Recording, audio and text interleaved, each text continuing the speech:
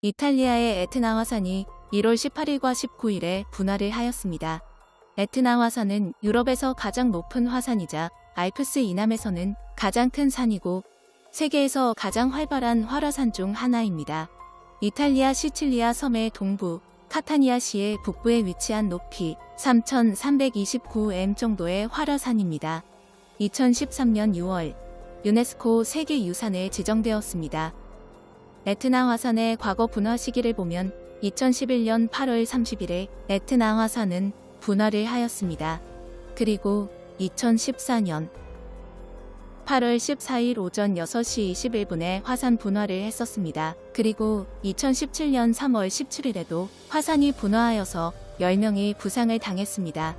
2018년 12월 30일에도 분화를 했었으며 최근에는 2020년 2월 26일 그리고 3월 9일에 분화를 했었으며 2020년 12월 15일에 에트나 화산이 또 폭발하여서 시뻘 건용함이 100m나 높이 치솟아 올랐습니다. 에트나 화산은 3,329m의 높이며 기원전 693년부터 분출하여서 현재까지 살아있는 화산이니 화산의 나이만도 2710살입니다. 우리가 이탈리아의 화산 폭발에 관심을 가져야 하는 이유는 현재 전 세계의 대지진 전조 현상이 매우 심각해서입니다. 이탈리아가 브레고리에 속해 있는 국가는 아니지만 1월 18일과 19일 이틀 연속으로 폭발한 이탈리아 에트나 화산의 모습은 최근 인도네시아의 화산들에서 호랑이와 원숭이들이 사라지고 있는 대지진 전조 현상들과 연관지어 볼 수 있습니다. 마그마가 정상에 가깝게 되면 동물들이 많이 내려옵니다.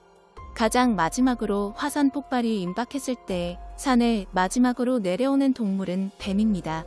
일본의 후지산 역시 후지산의 동물들의 반응을 잘 지켜봐야 합니다. 아직까지도 후지산에 눈이 쌓이지가 않습니다. 마그마 때문일 수 있습니다. 2021년 1월부터의 전 세계 화산들의 연쇄 폭발들의 최종 종착역은 결국 마지막에는 후지산일 수밖에 없는 이유 때문입니다. 이탈리아 에트나 화산의 1월 18일과 19일 연쇄 폭발 역시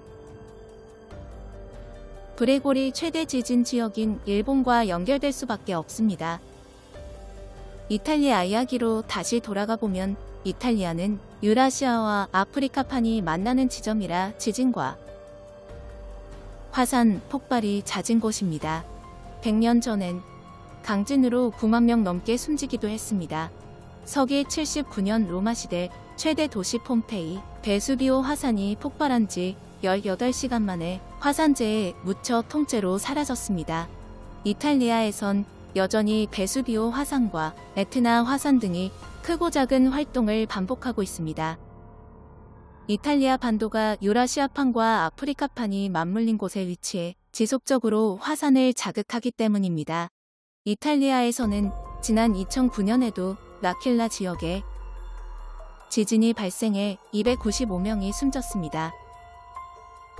1915년엔 아베자노에서 발생한 지진으로 3만 2천 명이 숨졌고 1908년엔 시칠리아 메시나에서 규모 7.2의 지진으로 무려 9만 5천 명이 목숨을 잃었습니다. 또한 최근 최근 아프리카판의 이동 속도가 빨라졌으며 터키와 이란 일대의 지진이 더 많이 발생할 확률이 매우 높습니다.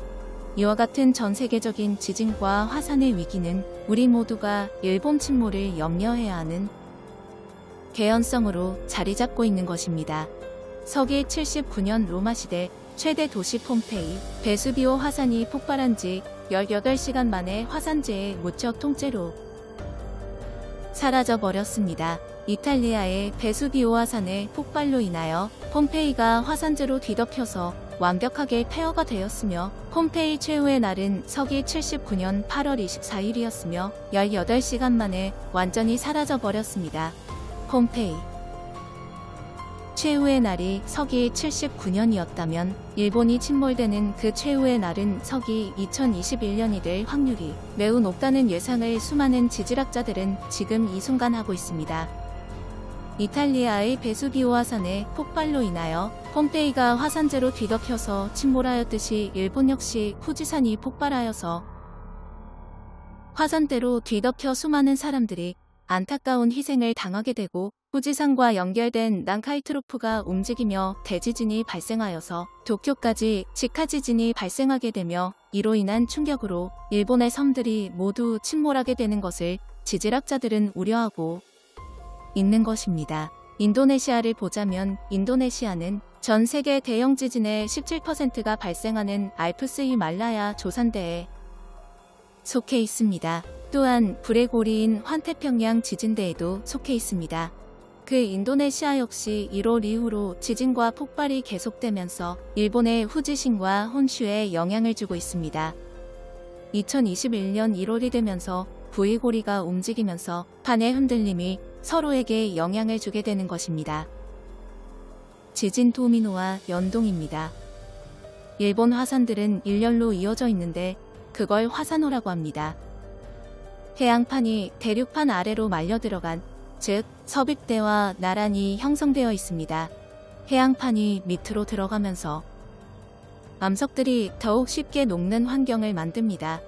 암석의 응고점이 낮아지게 되면서 그렇게 암석들이 녹아 솟구쳐 뚫고 나오는 게 화산 분출입니다.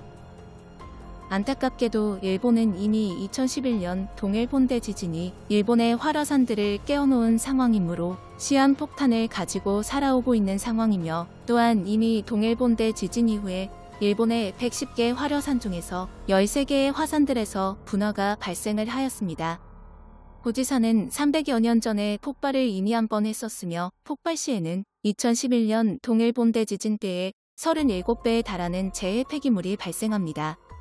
현재 후지산 인근에 미세먼지 발생이 급증하고 호수 수위가 낮아지는 등 분화 조짐이 보이고 있다고 보도가 잇따르고 있습니다. 후지산이 폭발할 경우 우선 1차 사망자만 13만 6천 명에 이를 것이라고 합니다.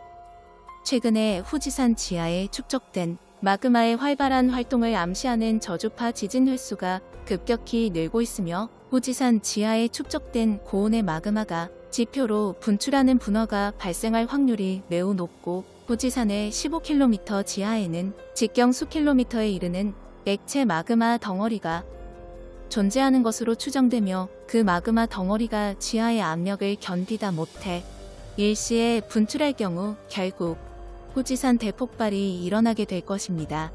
후지산은 10만 년 전 대량의 용암이 분출해 형성되기 시작했습니다. 지금의 후지산은 1만 년 전 분화 때 만들어졌다고 추측됩니다. 후지산이 마지막 대분화를 일으킨 것은 지금으로부터 300년 전인 1707년 12월 중순입니다. 그때는 16일간 분화했었으며 낮에는 회색 화산재, 밤에는 검은색 화산재가 100km 떨어진 도쿄로 나라와 2cm 이상 쌓였다고 전해옵니다. 활화산이란 과거 1만 년 이내에 분화를 일으킨 화산을 말하는데 일본의 활화산은 전 세계의 약 7%에 해당하는 110개에 달합니다. 지진계와 카메라를 동원해 24시간 감시 체제에 있는 활화산만 해도 47개입니다. 특히 분화의 가능성이 높은 27개 활화산에 대해서는 5단계로 나눈 경계 경보를 현재 발령 중에 있습니다. 후지산 인근 지역으로 일본 수도권을 포함한 일본의 거대 도시들이 밀집해 있고 2,500만 명 이상의 인구가 상주에 있어서 만약에 후지산이 폭발할 경우에 일본 재난 사상 최악의 국면을 맞이할 수 있다는 공포가 일본인들에게 이미 깊숙이 자리 잡고 있습니다. 대규모 지진 또는 후지산 폭발의 전조가 아닌지 우려하는 겁니다. 일본 침몰에 2021년이 발생되지 않기를 간절히 바라겠습니다. 이는 한국을 위해서도 반드시 필요한 것입니다. 일본이 침몰할 경우 한국 역시 그 간접 피해 여파를 피해가기가 어렵습니다.